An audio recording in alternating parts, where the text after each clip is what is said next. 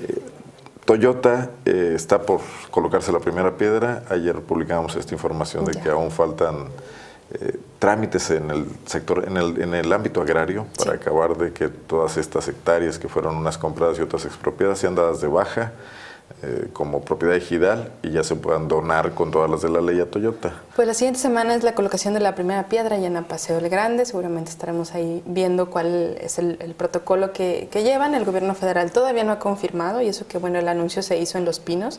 Eh, el anuncio de la atracción de esta empresa, no ha habido respuesta del gobierno federal. A lo mejor posiblemente sea porque no hay muchos asuntos que han terminado de concretarse, como el, asunto del, terreno. Ya publicamos en Zona Franca que faltan 116.96 hectáreas que fueron expropiadas por la Federación y que el gobierno de Guanajuato todavía no ha comprobado ante el Registro Agrario Nacional que se les hizo el pago de afectaciones a los, a los dueños bueno, que en este momento ya dejarían de ser dueños ya cuando se complete el trámite.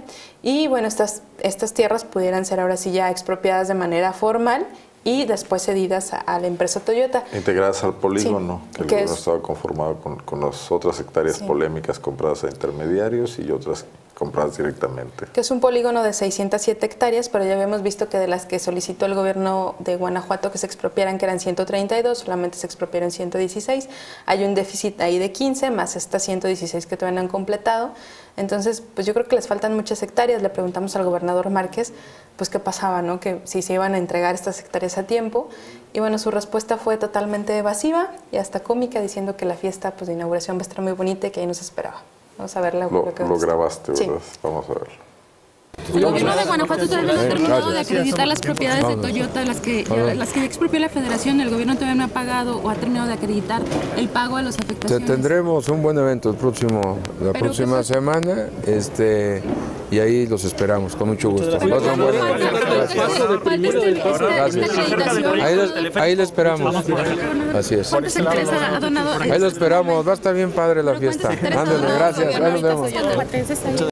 Bueno, yo creo que el gobernador Márquez ya le jaló las orejas a alguien ahí en la Secretaría de Desarrollo Económico, porque pues sí, es responsabilidad de esa dependencia tener todo listo y, sí tendrá una buena fiesta. Por cierto, eh, no viene el presidente de la República, ya prácticamente es un hecho, pero viene el secretario de Economía, el de Alfonso Guajardo. Mm. Qué bueno que ya hay confirmación. Más bien, el presidente de la República estará próximamente en Irapuato en la inauguración de este Centro de Justicia para Mujeres, un, algo así se llama, un edificio que hicieron ahí para como mandato de la, del nuevo marco legal. En sí, pues incluso eh, Miguel Márquez había comentado que en este mes sí se ha confirmado la presencia de Enrique Peñanito, aunque no tal vez para, para este asunto de Toyota, que bueno que ya hay ahora sí respuesta del gobierno federal.